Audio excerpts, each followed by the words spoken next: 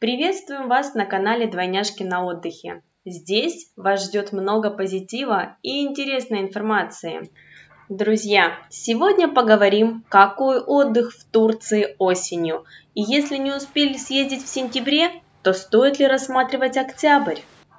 И здесь расскажу не только о погоде, но и о других плюсах октябрьского отпуска.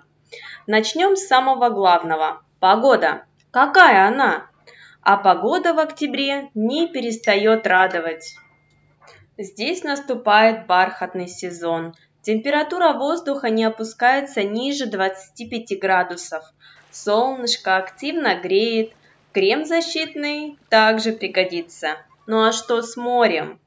Купаться-то можно будет?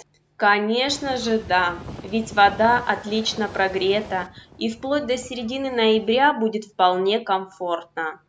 Итак, по погоде все понятно, тепло и пляжному отпуску быть. А какие же еще плюсы?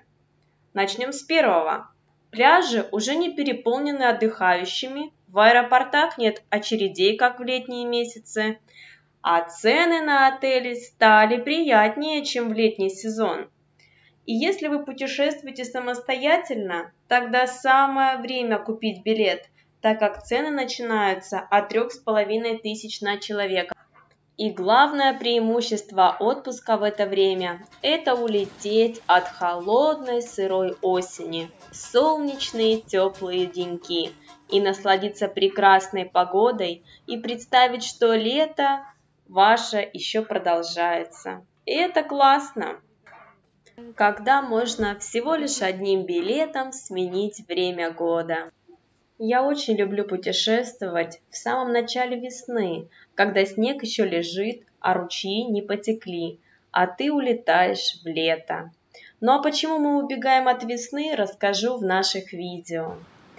А если вы хотите вернуться на недельку в свое лето, осень в Турции – это прекрасная возможность.